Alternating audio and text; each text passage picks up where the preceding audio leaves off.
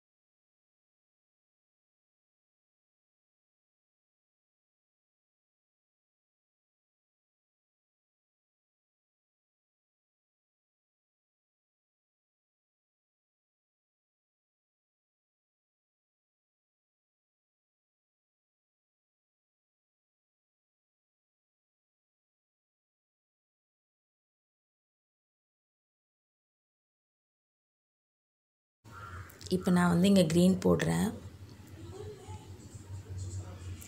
Green போட்டு next வந்து அந்த ரவுண்டுக்கு பிங்க் போடுவேன்.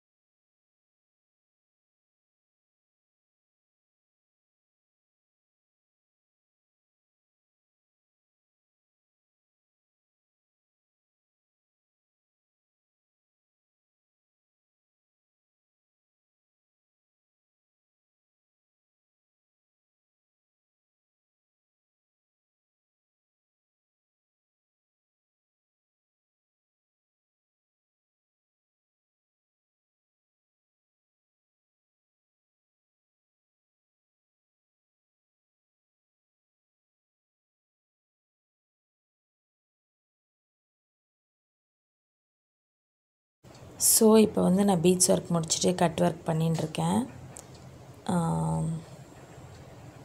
இது வந்து கட் கட் பீட்னும் சொல்லலாம் சிலிண்டர் பீட்னு சொல்லலாம் டியூப் பீட்னு சொல்லலாம். உங்களோட விருப்பம் நீங்கள் எப்படி கேட்டாலுமே மார்க்கெட்டில் அவைலபிள் கிடைக்கும் இது. ஸோ நீங்கள் க டியூப் பீட்ஸ் வந்து போட்டே வாங்க. ஸோ நெக்ஸ்ட்டு என்ன லைன் என்ன போட போகிறேன் அப்படின்றத பாருங்கள்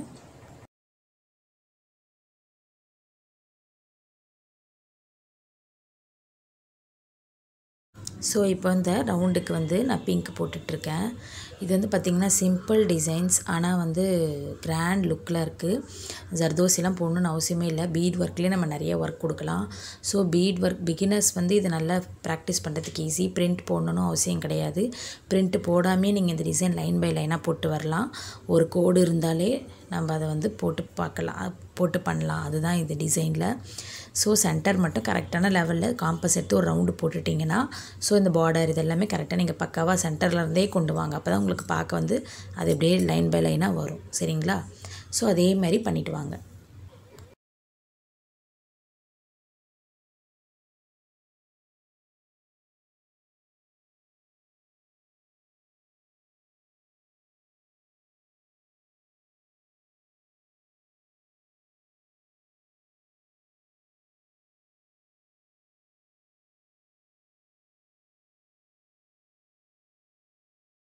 இப்போ அடுத்து வந்து நாலாம் நம்பர் பீடும் ஒரு குட்டி சுகர் பீடும் எடுத்து செட்டு செட்டாக போட்டுட்டு வரேன். அப்படியே ஒரு செட் ஒரு செட் மாதிரி அப்படியே உள்ளே விட்டு போட்டுட்டு வரேன். ஸோ அது ஒரு லைன்ஸ் ஃபார்ம் பண்ணுறேன் ஸோ இது எல்லாமே பிகினர்ஸ் போடுறது. சிம்பிள் அண்ட் ஈஸி மெத்தடு யார் வேணாலும் போடலாம். ட்ராயிங்கே பண்ணாதவங்க கூட இந்த டிசைன் போட்டு நீங்கள் வந்து இதை சேல் பண்ணலாம். உங்களுக்கு நல்லா ஈஸியாக வந்துடும் புதுசாக கற்றுக்கிறவங்க இந்த மாதிரி டெக்னிக் வந்து ட்ரை பண்ணி பாருங்கள் ஈஸி மெத்தட்ஸ் ஸோ இந்த நாலாம் நம்பர் அந்த சுகர் பீட் போட்டு முடித்த பிறகு அடுத்து என்ன பண்ண போகிறேன்றதையும் பாருங்கள்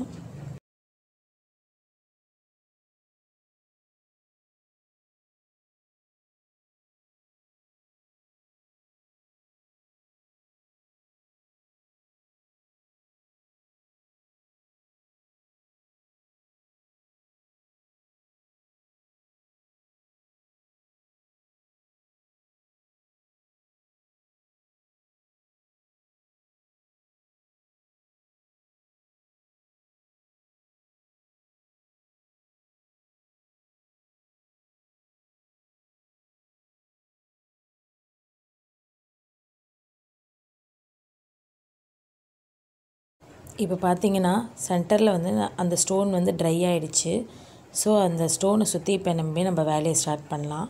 ஸ்டோனை சுற்றி சுகர் பீடு போட்டுக்கோங்க.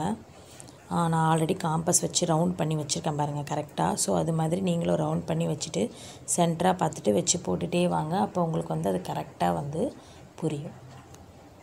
ஸோ சுகர் பீட் போட்டுட்டு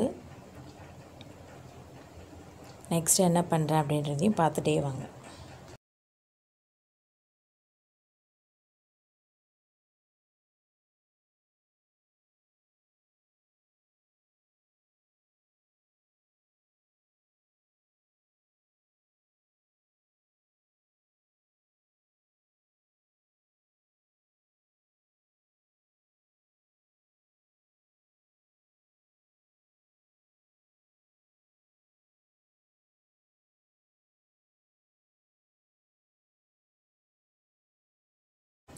இப்போ பார்த்தீங்கன்னா நான் நாலாம் நம்பர் பீடு ஒரு லைன் கொடுக்க போகிறேன். ஸோ இது கொடுத்து முடிச்சுட்டு அடுத்து வந்து என்ன பண்ணுறதுன்னு லைன் பை லைனாக போங்க. அப்போ அந்த ரவுண்ட் ஷேப் வந்து கரெக்ட் ஃபினிஷிங்கில் வரும். நீங்கள் அந்த கோடுலேருந்து ஸ்டார்ட் பண்ணிங்கன்னா நடுவில் போகும்போது சொதப்பிக்கும். ஸோ இப்படி போனீங்கன்னா உங்களுக்கு அடுத்தடுத்த லைன் ஃபார்ம் ஆகி ஃபார்ம் ஆகி ஃபார்ம் ஆகி கரெக்டாக வரும் ஃபினிஷிங்.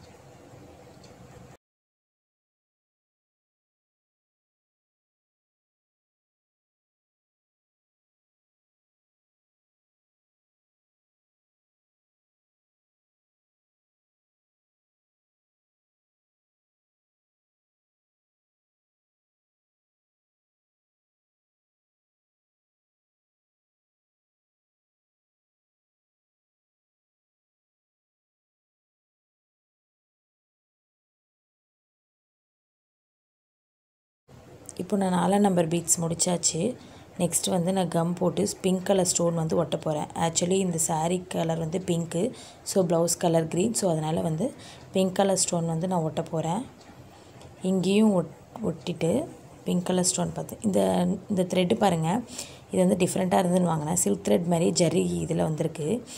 ஜரி மம்தா மாதிரி கிடையாது. இது சில்க் த்ரெட் மாதிரி சில்வர் கலரில் வந்திருக்கு. சரி உங்களுக்கு காட்டுறதுக்காக அது மேலே வச்சுருக்கேன். ஸோ இப்போ பார்த்தீங்கன்னா பிங்க் கலர் வந்து ரவுண்டு ஸ்டோனு ஆறாம் நம்பர் ஸ்டோன் கேட்டு வச்சுக்கோங்க. ஏன்னா இதில் நிறைய பேர் கன்ஃபியூஸ் ஆகுறாங்க. அதே மாதிரி நீடிலில் வந்து கம் லைட்டாக போட்டுக்கோங்க. லைட்டாக போடுங்க. ரொம்ப போட்டிங்கன்னா அந்த ஸ்டோன் மேலே ஒட்டும்போது ஸ்டோனோட கலர்ஸ் வந்து ஷேட்ஸ் ஆகும். அதாவது அது மேலே வந்து கொஞ்சம் இதுவாகும். ஸோ அதனால் வந்து பார்த்து கரெக்டாக ஒட்டிக்கோங்க. லைட்டாக ஒட்டிக்கோங்க. அப்படி இல்லைன்னா கூட நீங்கள் வந்து ஆல்ரெடி ட்ரையான கம் கூட லைட்டாக தொட்டு நீங்கள் ஒட்ட ஸ்டார்ட் பண்ணிங்கன்னா கூட உங்களுக்கு அந்த ஸ்டோனோட ஷேட்ஸ் வந்து மாறாது. அந்த மேலே. ஒரு மாதிரி மங்கலாக தெரியும்ல கம் ஒட்டிட்டா ஸ்டோன் மேலே. ஸோ அது மாதிரி வந்து உங்களுக்கு தெரியாது. ஸோ கையில் எடுத்து எடுத்து ஃபிக்ஸ் பண்ணுறதை விட இப்படி பண்ணிங்கன்னா உங்களுக்கு கொஞ்சம் ஈஸியாக இருக்கும். ஸோ இப்படி ட்ரை பண்ணிக்கோங்க. ஸோ இது இது நல்லா இப்போது இந்த பிங்க் கலர் ஸ்டோன் ஆறாம் number stone round cutting stone கேட்டிங்கன்னா தருவாங்க. குந்தன் கேட்டாலும் தருவாங்க. ஸோ இது நல்லா ஒட்டின பிறகு ட்ரை ஆகிடும் ட்ரை ஆனதுக்கப்புறம் என்ன பண்ணலான்றதை பாருங்கள் இது கொஞ்ச நேரம் ட்ரை ஆகிறதுக்கு கொஞ்சம் லேட் ஆகும். ஸோ அதுக்குள்ளே நம்ம வேறு அந்த கையில் பார்டர் இருக்கு இல்லையா? அங்கெல்லாம் நம்ம வேலை பண்ணணும் இல்லையா? அங்கே பண்ணலாம். இப்போ நான் இந்த கைக்கு வந்து இந்த இந்த பார்டரில் வந்து திருப்பி ஸ்டோன் ஃபிக்ஸ் பண்ண போகிறேன் சேம் அதே ஆறாம் நம்பர் ஸ்டோன்ஸ் தான். அங்கே ஃபிக்ஸ் பண்ணி ரெடி பண்ணிக்கோங்க.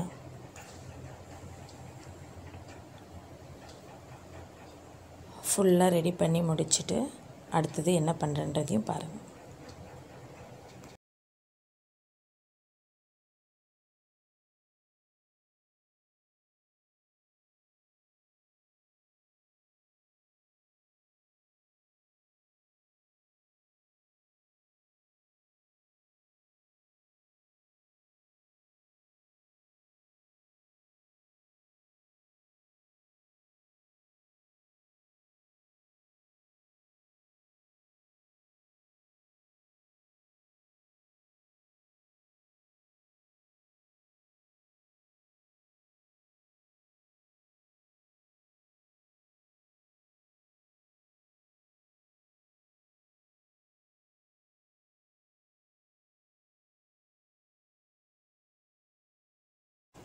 இப்போ பார்த்தீங்கன்னா நான் ஃபுல்லாக முடிச்சிட்டேன் அந்த ஸ்டோன் ஒட்டி.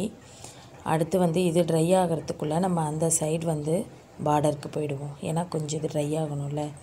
ஸோ அதனால் அந்த பக்கம் பார்டர் வந்து நம்ம போட ஸ்டார்ட் பண்ணிடலாம். ரெண்டு லைன் அதே மாதிரி ஒரு line sugar bead and cut bead and நாலாம் நம்பர் பீடு ஒரு சுகர் பீடில் எடுத்து செட் செட்டாக போடுற மாதிரி போட்டுகிட்டே வாங்க.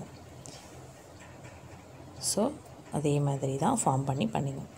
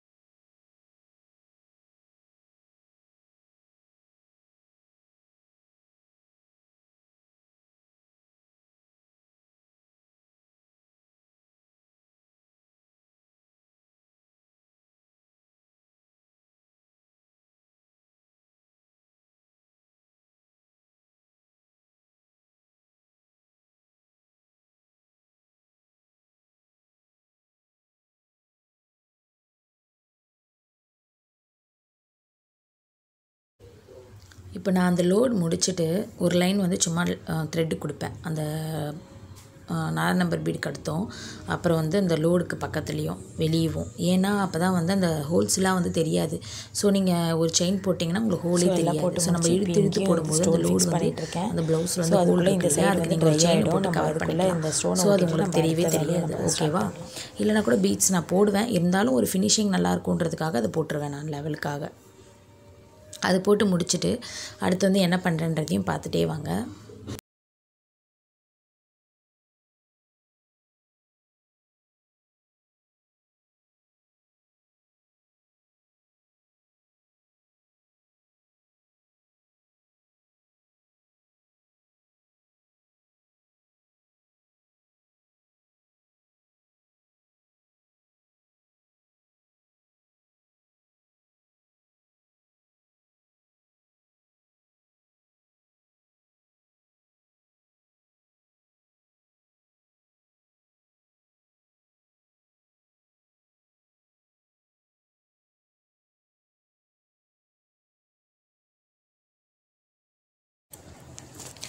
இப்போ ஸ்டோன் ஒட்டி இந்த சைடு வந்து சென்டர் இது. நம்ம ஃபஸ்ட்டு ஒட்டணும் இல்லையா? அது ட்ரை ஆகிடுச்சு இப்போ நான் என்ன பண்ண போகிறேன் அப்படின்னா அந்த ஸ்டோனோட சென்டர்லேருந்து எடுத்து ரெண்டு இப்போ வந்து நான் நாலாம் நம்பர் பீடு எடுத்திருக்கேன். நாலாம் நம்பர் பீடு எடுத்துட்டு பாருங்கள் அந்த க்ரீன் இது வந்து சர்தோசி பார்டர் போடலாம்.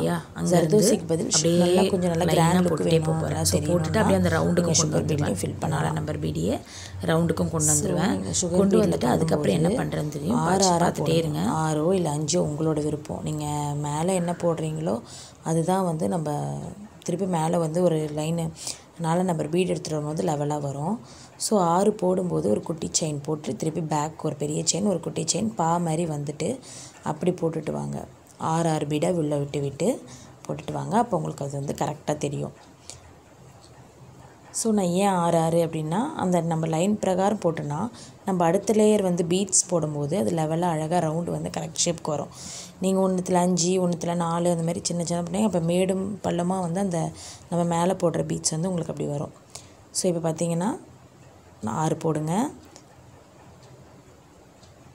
கொஞ்சம் எக்ஸ்ட்ரா வந்து எடுத்துருங்க. ஒரு குட்டி செயின் திருப்பி பேக் அப்படியே பெரிய செயின் ஒரு பா மாதிரி போயிட்டு அப்படியே திருப்பி ஆறு. இது மாதிரி நீங்கள் போட்டுகிட்டே வாங்க. அப்போ கரெக்டாக வரும்.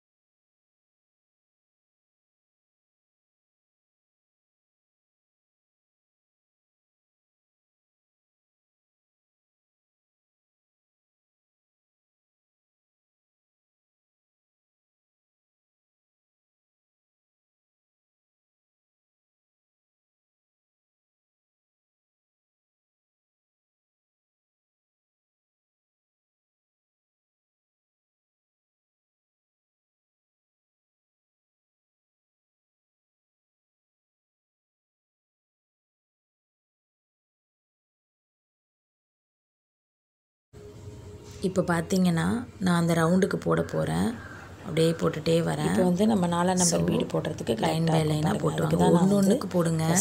நிறைய பேர் என்ன பண்ணுறாங்க அப்படின்னா ரெண்டு பீடு கட் பண்ணி போடுங்க. ரெண்டு ஒட்டி ஒட்டி இருந்தால் அப்படியே போடாதீங்க. ஸோ அதனால் வந்து ப்ளவுஸ் வந்து கழட்டும் போது உங்களுக்கு அசிங்கமாக வந்து எல்லாமே தூக்கிட்டு நிற்கும் ஸோ கட் பண்ணிட்டு கூட போடுங்க சுகர் பீடாவது ஒன்று ரெண்டு போடுங்க அடுத்தது என்னது நாலாம் நம்பர் பீடில் கூட இது மாதிரி நிறைய பேர் பண்ணுறாங்க ஸ்டூடெண்ட்டுங்களே ஸோ அதனால தான் உங்களுக்கும் அப்படியே அதை சொல்லணும்னு நினச்சேன். ஈஸியாக சரி வந்து சொல்கிறேன் சொல்கிறேன் டிசைன்ஸ் நீங்கள் வந்து கட் பண்ணிவிட்டு கூட போடுங்க. சரிங்களா? இல்லைன்னா அசிங்கம் அப்படியே இருக்குது அப்படின்னு நம்ம போட்டுறாதீங்க. அப்புறம் ஃபினிஷிங் இருக்காது டிசைன் ஸோ அது முடித்த பிறகு அடுத்து என்ன பண்ணுறன்றதை பார்த்துட்டே வாங்க.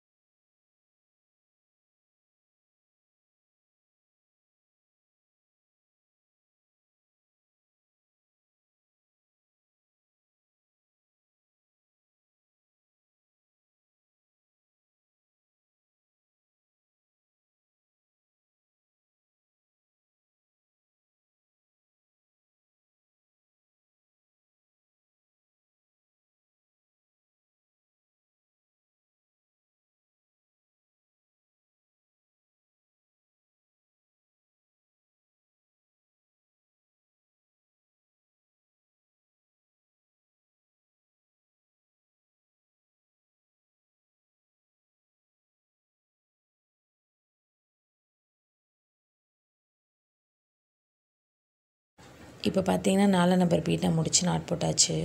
இப்போ அடுத்து நான் அதுக்கு ஒரு லேயர் வந்து கட் பீட் கொடுக்க போகிறேன் ஸோ அதுக்கு அடுத்த லேயர் கட் பீட் போட்டுட்டு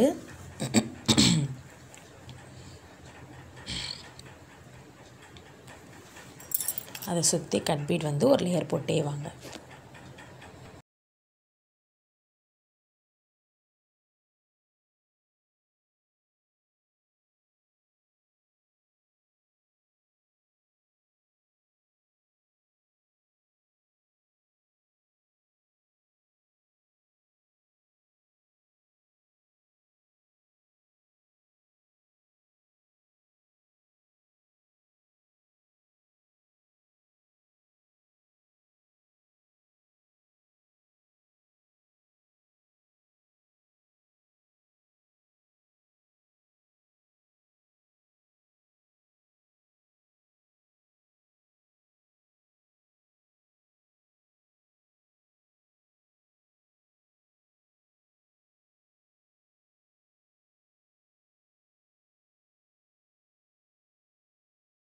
இப்போ நம்ம அதை முடிச்சு லாக் போட்டாச்சு. இப்போ இந்த இடத்துல வந்து பார்த்தீங்கன்னா நான் சுகர் பீடு ஒன்றும் நாலாம் நம்பர் பீடும் ஒன்றும் எடுத்து ஒரு செட் செட்டாக போட்டு டாட் மாதிரி அந்த இடத்துல வந்து ஃபிக்ஸ் பண்ண போகிறேன் ஸோ அது நீங்கள் வந்து அது மாதிரி நீங்கள் பண்ணிக்கிட்டிங்கன்னா அழகாக இருக்கும். பார்க்க ஒரு முட்டு மாதிரி அழகாக இருக்கும். ஸோ அந்த ரவுண்டுக்கு இந்த பார்டருக்குலாம் ஸோ அது மாதிரி பண்ண போகிறேன்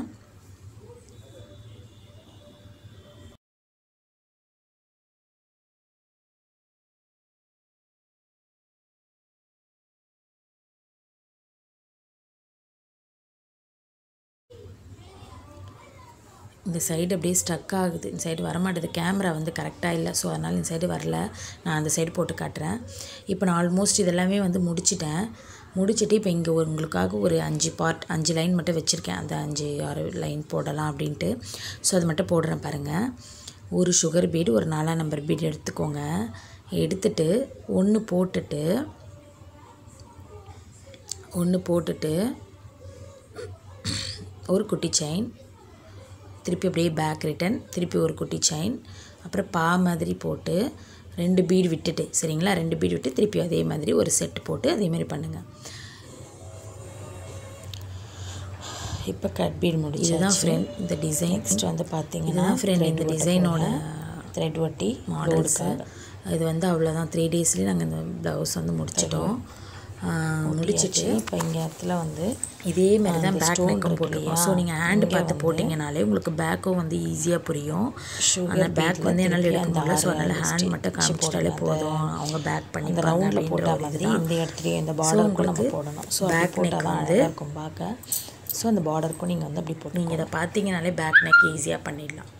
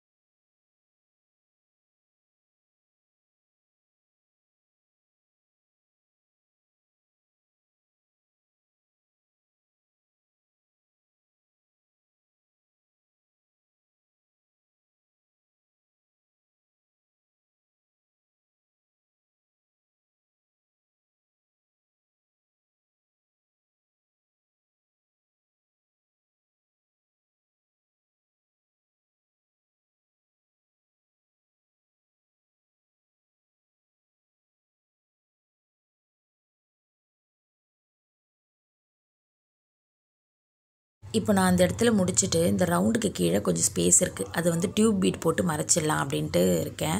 ஸோ அதனால் டியூப் பீட் போட்டு அதை மறைக்க போகிறேன் அந்த இடத்த கேப் வந்து ஃபில் பண்ணிடுறேன்.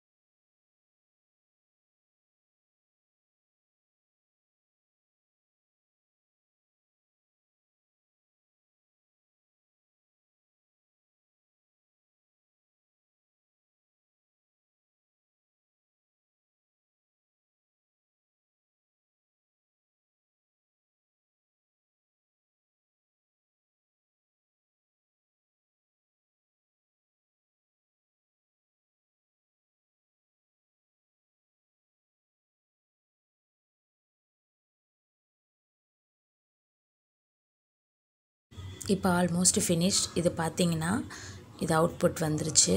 ஸோ ஓகே ஃப்ரெண்ட்ஸ் இந்த டிசைன் வந்து உங்களுக்கு பிடிச்சிருந்தா நீங்கள் லைக் பண்ணுங்கள் ஷேர் பண்ணுங்கள் சப்ஸ்கிரைப் பண்ணுங்கள் இது நல்லா ஜூம் பண்ணியும் காட்டுறேன் பாருங்கள் இப்போ நம்ம ஃப்ரெண்ட்ஸ் நெக்ஸ்ட் வீடியோவில் சந்திக்கலாம். பை செட்டு பேக் நெக் பாருங்கள் கட் பீட் பக்கத்தில்.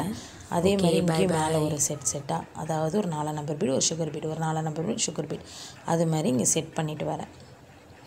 அது முடித்த பிறகு அடுத்தது என்ன பண்ணுன்றதையும் பார்த்துக்கோங்க.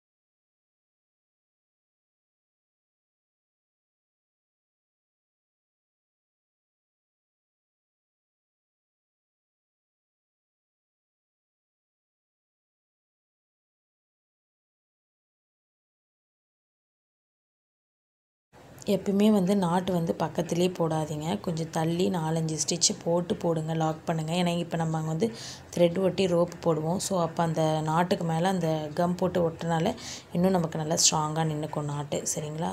ஸோ இப்போ நம்ம கம் போட்டு இங்கேயும் த்ரெட் வந்து ஒட்டியாச்சு. இப்போ அடுத்து வந்து அது ட்ரை ஆகிறதுக்குள்ளே அந்த சைடு என்ன பண்ணுறோன்றதையும் பார்த்துடலாம்.